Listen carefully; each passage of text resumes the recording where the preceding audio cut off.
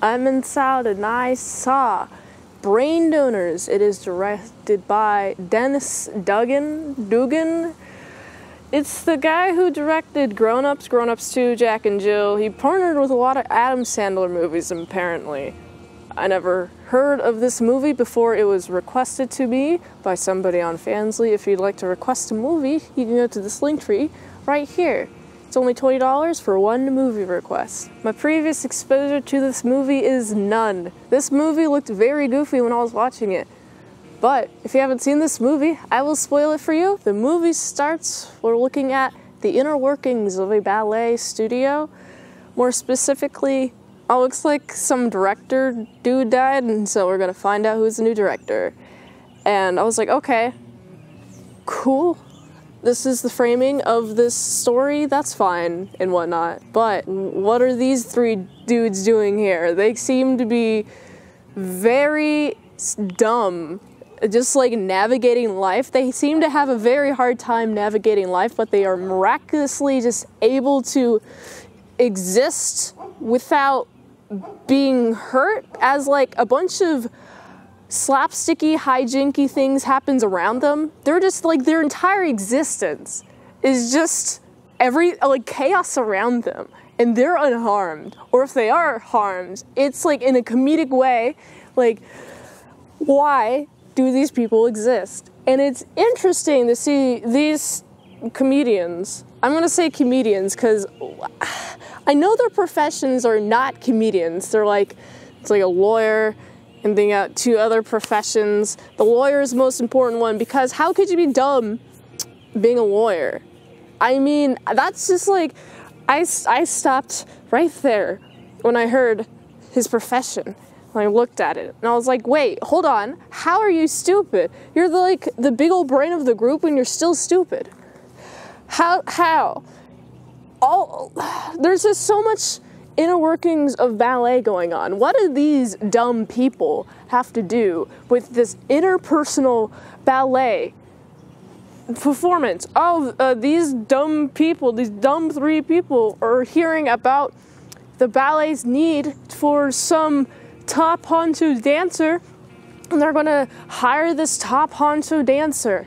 And so now they want to sabotage them, but first they wanted to get hired. Ooh, we can get lots of money. But you guys already have jobs. Is that not your motivation? What is your motivation? For me, this movie was unclear. I wasn't, uh, I was mighty confused about a lot of the plot details, but I think my brain was going a little bit too much for this movie because there is a lot of slapstick humor and there's a lot of funny dialogue. Um, I'm not a dictionary. I'm not a. I'm not. A, I'm not a movie, so I'm not going to quote it to you. But uh, they, there are a lot of quotables that I laughed at. There's a lot of moments where I laughed at, especially at uh, the parts where they're on the scene. By the way, when I talked about the sabotage, that's true. They trying to sabotage the ballet dancer while he's ballet dancing.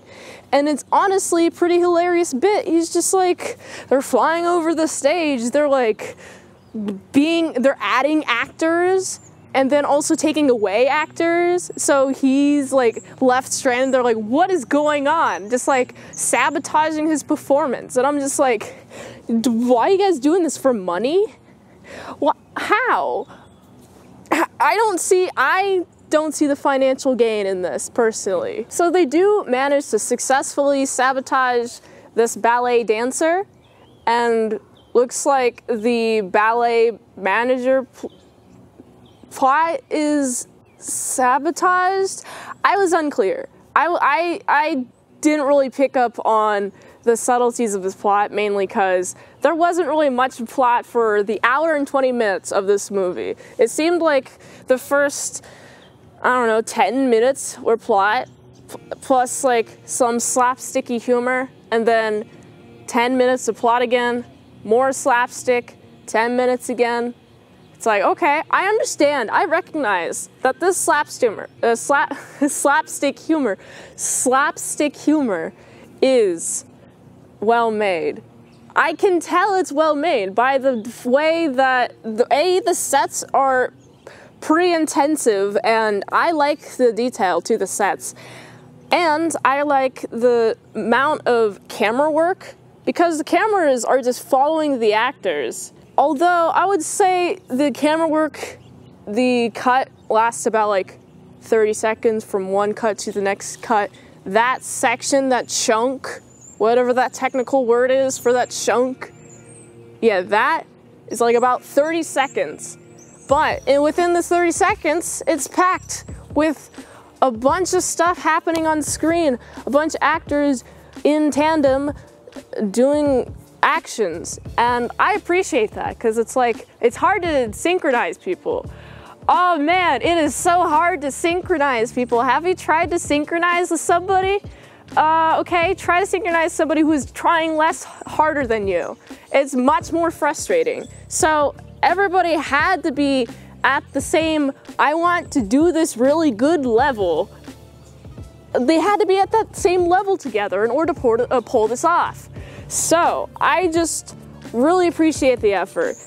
Personally, I'm not a big fan of slapstick humor. My comedy styles is more satire, dark comedy. Uh, I appreciate slapstick humor if there's a lot of good dialogue around it. There is a lot of good dialogue around this, a lot of memorable quotes.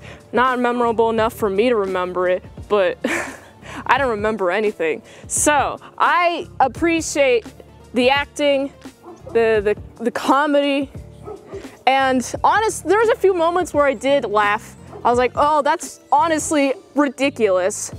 But I feel if there's more juxtaposition between some of the actions, like, oh, there's like a small action, right? And then a big old grand explosion action, like cause and effect, small action, big effect. I, I laughed at that more because it's like, oh my goodness, that's insane. That's like hyperbolic that's the, the that's wow, I can't believe it. Oh, many words for that reaction.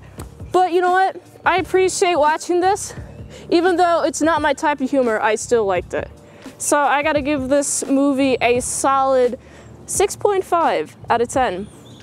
If you like this review, be sure to like, comment, subscribe, and share this video with everyone you know. The ultimate goal of this channel is for me to become an expert movie reviewer, so if I haven't reviewed it on the channel, there's a chance I haven't even seen it at all. If you'd like to request a movie in the comments below, you can do that, or you can fast track a movie request at patreon.com slash presents for $20 a month for one movie review per one month, or $3 a month for the draw all the Pokemon in the Pokedex. Well, 151 for 2023, that's my goal, and early access to those how to draw Pokemon videos at patreon.com slash Presents. If you'd like to help support the daily grindiness of these movie reviews, go to this link tree. It really helps the daily grindiness of all these daily movie reviews, so go here. And until next time, I'm Mint Salad Saw. I'll see you later, my salad croutons and bacon bits.